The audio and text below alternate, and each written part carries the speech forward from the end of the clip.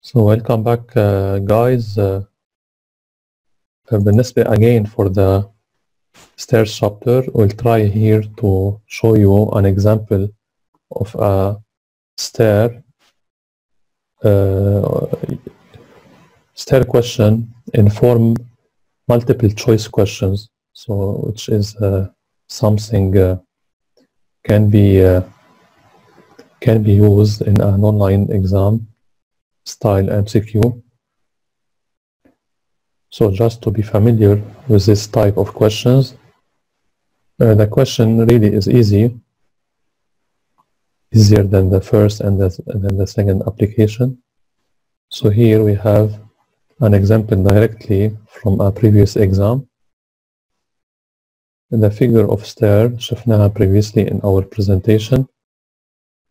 هيكون في عندي central beam and the precast step ثابتة عليها step هي حتكون cantilever عن اليمين وعن الشمال لأنه الفيكسيشن هي at the middle here we have the planar view هنعتبر أنه the beam at the middle has a width of 0.3 meter span on the right is 0.7 meter and span on the left is 0.7 meter here we'll have the information related to the loading live load 5 kilopascal superimposed dead load 2 kilopascal هنعتبر إنه ما في عندي ريلينج مثل ما شايفين ما في درابزين على الطرف.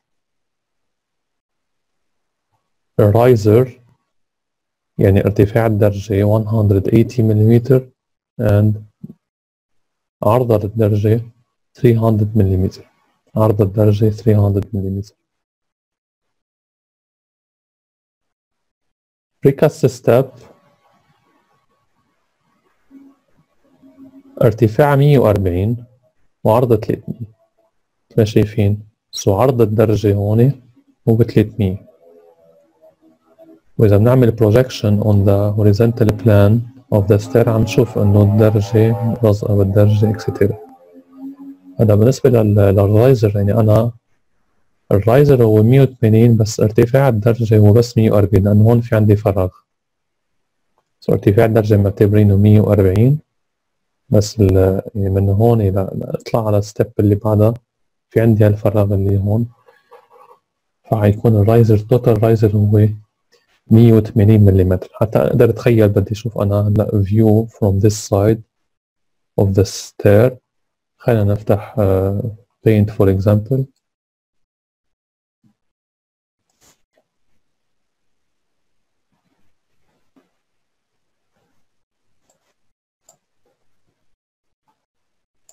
So the stair will be like this step في فراغ بعدين في step في فراغ بعدين في step etc etc so the height here the height of the step here is 140 but the اطلع انا من من من من ليفل لليفل وهون هو 100 180 so here we have this dimension 140 but this total rise is 180 لأن هون في عندي شوية فراغ so this is why we have this difference between the height of the step and the riser. Uh, important to understand this uh, difference in order to compute the loading later. هيكون first question so هون معنا الexam معنا questions ومعنا model answer directly. So it's required to compute the factored intensity of W ultimate per meter of length kilonewton per meter of length per cantilever step so إذا بناخد one step هنحسب للود اللي عليها كيلونيوتن بير متر هيدي هي مثل ما سبق قلنا انه the cantilever step here is transversally supported يعني حيكون اللود along the length of the step وقت كان الستير هو بالابلكيشن اللي قبل كان هو لونشيني سبورت جبنا اللود along the lengths هلا transversally سو حنجيب اللون اللود along the transverse direction So this a step, this a step, fix it at the middle, and we need to compute the load along the transverse direction of the step. step dimension هني عرضها 300 وارتفاع 140 so إذا نضرب that unit weight ضرب section 300 140 بيطلع معنا dead load per meter of length معنا superimposed dead load هو ال finishes اللي فوق 2 كيلو باسكال planar ضرب بس ال width بتصير هي so هو already planar يعني على البلاطة هو planar على ال step نضربه بالعرض بيصير هو linear times 1.2 for the dead load live load is 5 kilo pascal it's a planar load. كمان ال live load is a planar load. نضربه بالعرض. اللي هو 0.3 بصير along the this direction. كمان plane هو plane هو هيدا ال side ضرب هيدا ال side إذا أنت بتضرب بهيدا ال side بيتحول ال load اللي هو planar لل load along this side. فمشان هيك عم نضرب ب 0.3 تايم 0.1.6 حيطلع معنا دبليو 4.38 مثل ما شايفين هون we have this answer B in the different choices. Now it's required to compute the factored ultimate moment per cantilever step.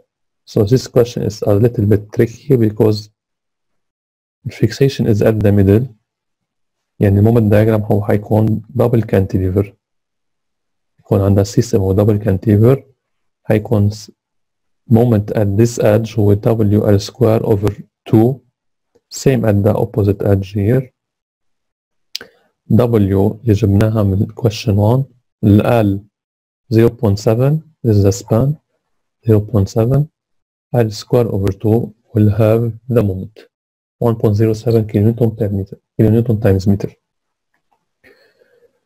now the required reinforcement per millimeter square to carry the moment اللي هو 1.07 هنقول Rn equal M ultimate over phi times B times D square هيدي هي البي اللي هي عرضة للستيب. عم نعمل ديزاين نحن هلأ بالحقيقة لستيب وحدة. هيدي هي السكشن تبعتي. هيدا هو البي 300 والاتش 140 نقص من ال h cover اللي هو 20 140 بتصير 120 ونقص منه كمان stirrups ونقص منه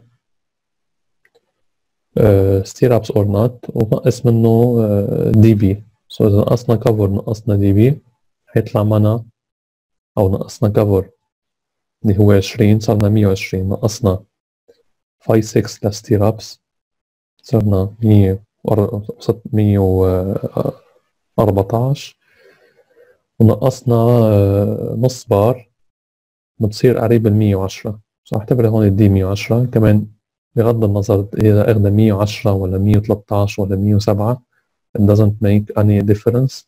نحسب ال Rn ال m ال rho قارنا بال rho min هتكون أصغر من rho min معناتها حناخد rho min rho min اللي هي 0.0033 for beam.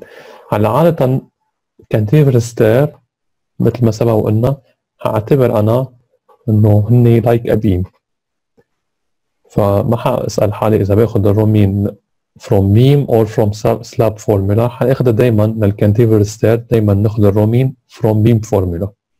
اللي هي إلى فورمولا معنا اياها اللي هي 1.4 over fy or, or radical f prime c over 4 times fy ناخد الكبير بيناتهم حيطلع معنا 0.0033 then As equal rho min times bh هيطلع لنا 140 ملم square فكونه هلا هون ال As min control فمشان هيك كنت عم بقول لكم regardless اذا اخذنا هون ال d 110 ولا 113 ولا 107 حيضل the same حيضل As min control so again you have a closer answer اللي هي B 150 ملم سكوير Now the factored ultimate shear per cantilever step at a distance d from the face of the support. هلا أكيد كمان بدنا نكون شوي مركزين إنه نحن this our structural model shear reaction here بتساوي مش WL over 2 هي هي W times L لأنه هذا هو it's a cantilever هون ال L هي 0.7 so like if we have this your span and here you have a support support reaction here you have load اللي هو WL أنا هون اللود اللي هو W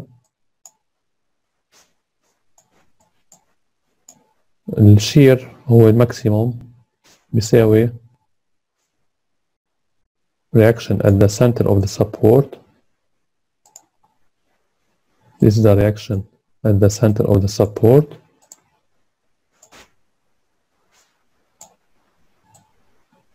this is a load W or W ultimate this is the span 0.7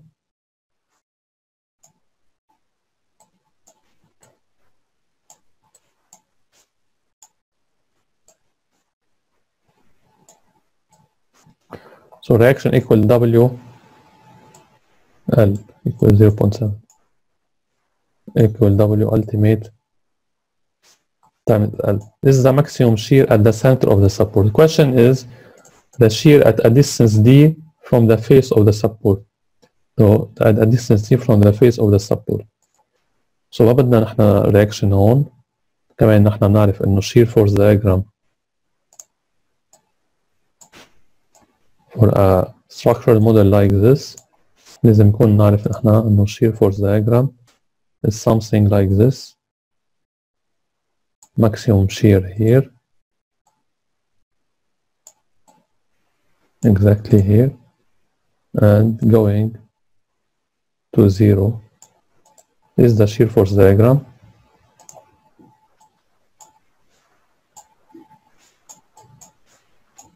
is our shear force diagram. Then the shear at a distance d from the face of the support احنا احنا الشير يلي هون وبيساوي shear at the center اللي هو WL minus slope slope shear at the center ناقص slope اللي هي W times قد مشينا. قد مشينا. إذا هون بتقول W times L بتكون أنت جبت ال shear مش على ال center بتكون جبت ال shear at the face. إذا بتصير هيدي بالحقيقة هي times L plus BW over 2 اللي هي spans to the center of support هيدي reaction اللي هون طيب reaction at the face هون هي W times L reaction at a distance D هون هون هون في عنا دي هي حتكون وال WL اللي هي رياكشن هون آه ناقص ستوب اللي هي W times D. فبيطلع معك. reaction هي WL ناقص W اللي هي slope times D. 2.6 Now, last question, the torsional factored moment applied to the supporting beam is most nearly. هلا last question هي little bit tricky لأنه نحن بنعتبر إنه في عندك torsion بهذا ال beam بحال وحيد. إنه في عندك اللود هو from only one side a dead load is always at, at, at right and at left all dead load هو دائما هو constant self weight و superimposed dead load نعتبر انه في عندنا تورشن بس بحاله كان في لايف لود على اليمين ما في لايف لود على الشمال او العكس So the torsion will be generated only if you have live load from one side هعتبر انه W alternate live load هي only from one side معناتها بهالحالة الفلكشرال مومنت يعني بيعمل لك deflection للبيم للستيب تعمل لها deflection لتحت تعمل بال هي ذاتها torsion in the supporting beam. So the flexural moment will be transferred as a torsional, torsional moment to the supporting beam. fractional moment in this case بيساوي هو W ultimate live load times span square over 2 هو بيساوي مثل ما قلنا هذا ال flexion will be transferred as torsion so هذا ال moment حيخلق لك بال step deflection لتحت بس بال supporting beam حيخلق لك rotation اللي هو torsional moment This is all for this problem. Again, hope you enjoyed. Thank you for your attention. See you soon.